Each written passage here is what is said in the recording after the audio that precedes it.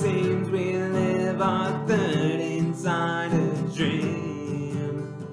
Want to tell you what's inside my head.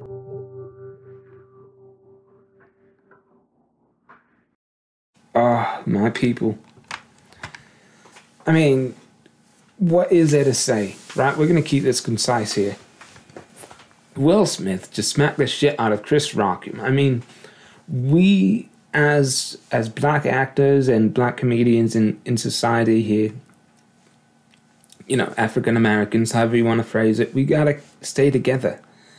And that was just an act of of barbaric separation and just uh, alpha male type posturing to the to the infinite degree.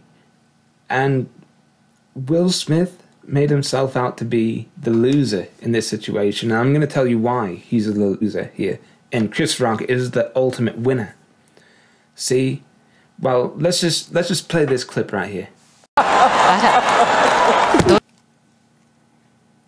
Well, Chris Rock just got the shit smacked out of him by Will Smith, as we can all see. Now, this is not a laughing matter at all. Okay? This is very serious. This shows the toxic undertones of Hollywood. Okay? Now, look at this clip.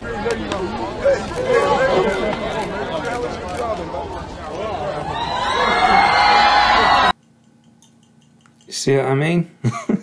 now, this is a man who just goes around slapping the shit out of people. Okay? now, I mean, let's be honest here. He, he's under a lot of pressure. He's in Hollywood.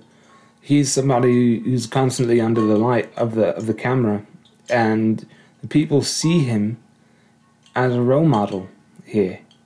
And the role that he obviously likes to play is a person who slaps the fuck out of anybody he wants to. Now, let's let's say that there's nothing wrong with that. Okay, in Hollywood you can do whatever you want. But that's not the case here. Because you know what's going to happen? Will Smith's reputation is going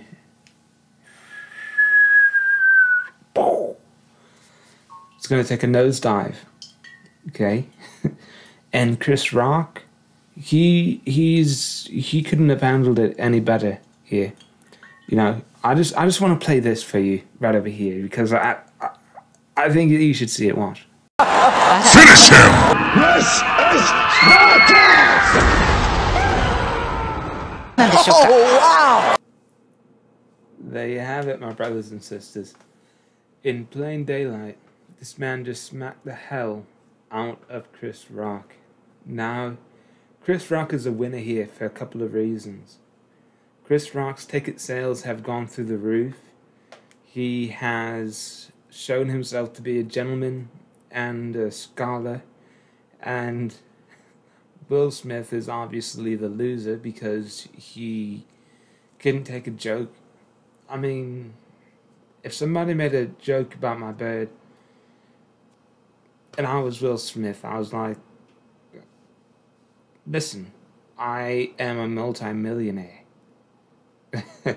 like several times over.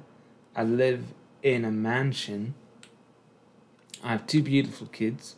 I do whatever the fuck I want. And I'm sitting here at the Oscars. And you can't take a joke? I mean, what's what's going on in his head where somebody has that much but it's still so fragile. you know? I mean, but really, really though, we should, we should, yeah, hearts go out to him, whatever. Listen, the man, the man has everything. Okay, he, he doesn't need our pity. He doesn't need our pity. He takes, he takes people's money by the boatloads by putting out all these trendy Hollywood movies really gets no sympathy from me. I, I hope the best for him. I hope that he finds happiness and peace for everyone else's sake, so he doesn't continually smack the shit out of people. But, I mean, eh, chickens come home to roost, and they definitely came home to roost. So, listen, like this video, subscribe, and share it with all your friends because, you know, we all have a jolly good laugh and we have a good time here. Tell me what you think of this situation. Did Chris Rock deserve it? I mean, hey, there might be some people with that opinion there, and that there's something to be said for that. Maybe he shouldn't have spoken a word about Will Smith's wife and her alopecia, bald head. I mean, when it comes down to it, yeah, you have all the millions in the world, but million dollars can't buy you a beautiful head of hair.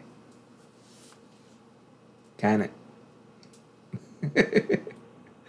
no, it can't. Alright, so till next time. Peace out. Wow. Will Smith just smacked the shit out of me.